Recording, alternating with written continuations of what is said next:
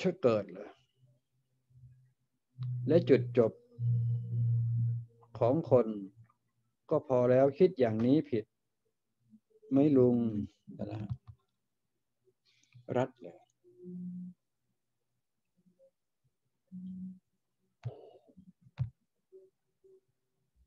เดี๋ยวเดี๋ยวเดี๋ยว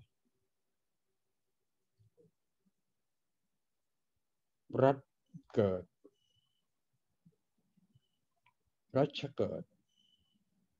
สะกดผิดหรือเปล่าครับ คุณนาว่านะครับ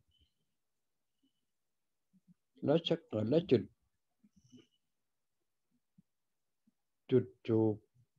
ของคน ก็พอแล้วคิดอย่างนี้ผิดไหมโอ้แปลไทยเป็นไทยไม่ไหวละนะคุณนาว่ากรุณาพิมพ์มาใหม่ครับ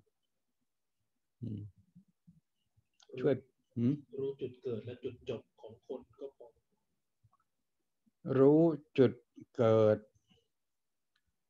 โอเคเอาโอ้โหเดาเก่งเลย รู้จุดเกิด และจุดจบ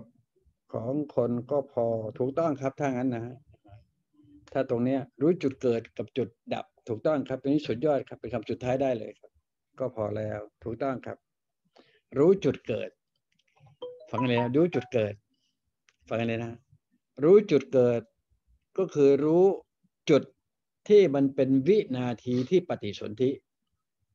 นะในพระราชคันของพระราชมารดา นั่นเรียกว่าจุดเกิด โอเคนะ รู้จุดนั่นแหละครับ พอรู้จุดเกิดก็จะรู้จุดดับครับ บอกให้ทราบไว้ เพราะว่าดับมันมาจากเกิด มันต้องเกิดก่อนที่จะเป็นดับนะ พอพอไปไปรู้จุดเกิด มันก็เป็นจุดดับเป็นที่เดียวกัน น่าสนใจนะครับ นี่น่าสนใจเลยครับ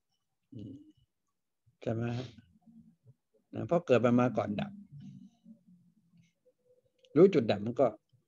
ขอไปรู้จุดเกิดก็ต้อง ดับไปในทีมันเองมันต้องรู้ในถอยลังไปหาอดีตนะครับจำด้วยครับทุกสมุทัยนิโรธจะรู้ตรงนั้นได้ มันไปได้ไกลไปกว่านั้นอีกครับ บอกให้ทราบไว้นะฮะเรื่องของนิโรธสมาบัติเนี่ย นอกจากจะไปรู้จุดปฏิสนธิในในในในครรภ์ของแม่นะครับ สเปิร์มกับไข่มาจ๊ะจ๊ะเอ๋กันนอกจากจะรู้จุดนั้นแล้ว มันก็ยังไปรู้อีกทีหนึ่งก็คือสเปิร์มสเปิร์มหัวสเปิร์มเนี่ยนะครับหัวสเปิร์มไอ้แค่หัวมันเล็กนิดเดียวนะครับ เรียกว่านิวเคลียสก็แล้วกันอันนั้นเป็นพลังงานที่ไม่บริสุทธิ์นะครับ ตัวนั้นมันเก็บภพชาติมานิดเดียวแต่มันเก็บภพชาติ นิดเดียวนี่ครับ โอ้โห มันเก็บภพชาติมาหืมมันยิ่งกว่าชิปของคอมพิวเตอร์ ยิ่งกว่าชิปของมือถือมือถอยนะครับเดี๋ยวสเปิร์มมันมองไม่เห็นนะเห็นไหมไม่สามารถมองเห็นด้วยตานะไอ้หัวมันเล็กนิดเดียวนะหนึ่งนิวเคลียสเนี่ยนะมันเก็บทุกสรรพสิ่งของตัวเรา ตั้งแต่เริ่มเกิดมาเป็นเรา ในหนึ่งก็เริ่มเกิดเป็นโลก ดูสิครับ นี่ภาษาลุงเนี่ยให้ดูนะพระไตรปิฎกไปไม่ถึงหรอกที่ว่า ไม่มีทางไปถึงพระไตรปิฎกคือตัวหนังสือไปไม่ถึงหรอกพระไตรปิฎกตัวหนังสือคือรูป ไปไม่ถึง เขียนยังไงก็ไปไม่ถึงนะครับ เพราะฉะนั้นตัวนี้มันต้องเข้าใจเรื่องของพระอภิธรรมพระอภิธรรมก็มีกี่คำรูปจิตเจตสิกนิพพานยังไงลุงก็มาเปลี่ยนใหม่ซะรูปเจตสิกจิตนิพพาน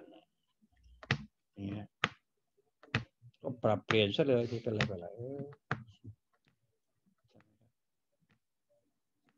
แม้แต่ตำแหน่งของพระสงฆ์เวลานี้นะครับอย่างเช่น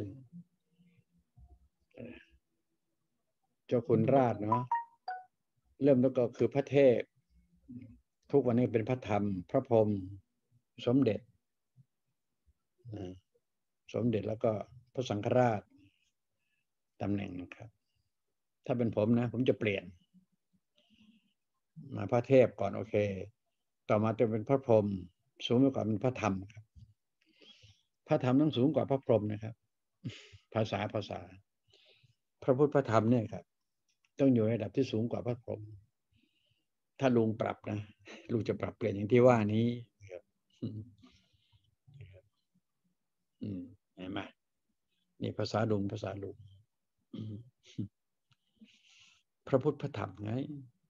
ก็ต้องลิงก์ให้เป็นสิครับเออก็รู้จำไม่หมด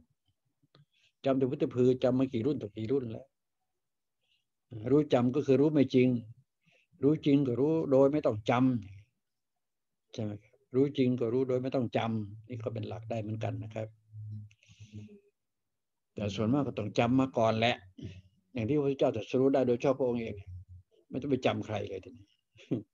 สุดท้ายก็รู้อยู่ที่ตัวตัวพระองค์เองนั่นนะครับนี่เป็นต้นนะครับ